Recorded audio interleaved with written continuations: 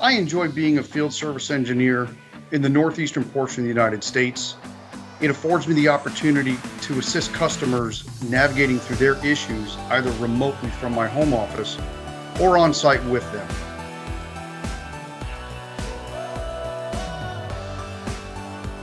I'm located out of Florida and I enjoy being an FSE for Honeywell because it enables me uh, the opportunity to use my troubleshooting skills and my customer service skills.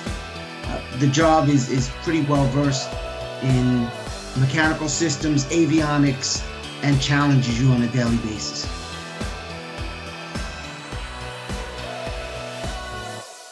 What I like about my job at Honeywell being a technical support engineer is the variety of avionics systems I get to work on every day. There's never two days the same. Most of my career, I was always a hands on in the hangar technician and felt that being field service as a spearhead for a company was my next role in my career. So my career started as an A&P and as an A&P mechanic.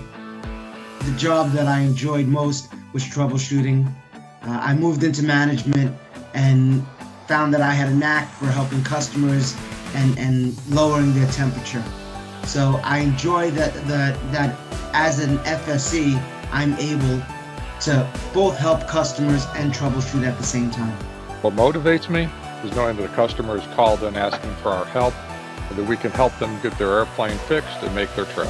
The abilities for growth within Honeywell are entirely up to you. You can become a manager, director. It all depends what your aspirations are. Honeywell is a world, worldwide company, so the opportunities are endless.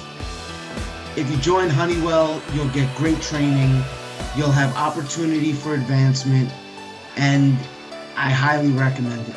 So, at some point in time in my future with Honeywell, I do see myself as managing the field service team to ensure that the customer service traits that I use are spread throughout our network.